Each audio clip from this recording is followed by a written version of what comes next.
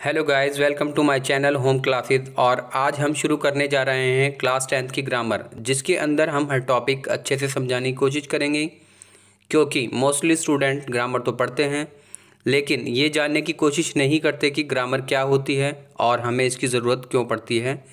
हमारी ग्रामर की वीडियोज़ के अंदर हम आपको इन सभी सवालों का जवाब देने की कोशिश करेंगे। हमारी वीडियोज़ को देखते रहिए क्योंकि हम यहाँ पर आपको क्लास टेंथ की कंप्लीट ग्रामर कराएँगे। तो चलिए हम अपनी वीडियो को स्टार्ट करते हैं।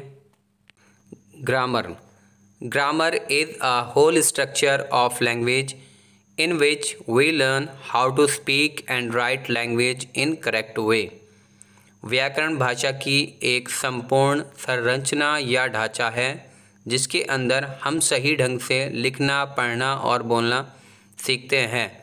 यानी कि ग्रामर के बिना आप किसी भी भाषा को सही ढंग से लिख, पढ़ या बोल नहीं सकते। अगर हम इसके एग्ज़ाम्पल की बात करें तो हमारी नॉर्मल लाइफ के अंदर जो प्रैक्टिकल लाइफ होती है, इसमें बहुत सारे एग्ज़ाम्पल्स हैं तो हम किसी एक एग्ज़ाम्पल्स के ऊपर बात करते हैं। अगर आप अपनी गली के अंदर, मोहल्ले के अंदर या शहर के अंदर देखें तो काफ़ी कंस्ट्रक्शन का वर्क चल रहा होता है। और जब आप उस कंस्ट्रक्शन को ऑब्ज़र्व करते हो और उस कंस्ट्रक्शन को करने वाला जो मैसन होता है, जो मिस्त्री होता है, वो उस कंस्ट्रक्शन को उसी हद तक कर पाता है जहाँ तक उसका हाथ जा पाता है।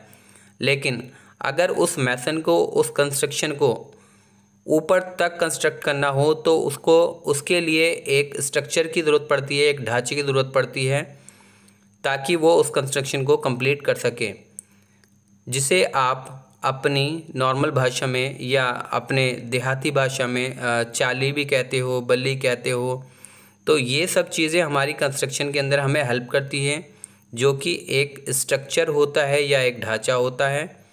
आई होप ये वीडियो आपको पसंद आई होगी, समझ में आई होगी। Thank you so much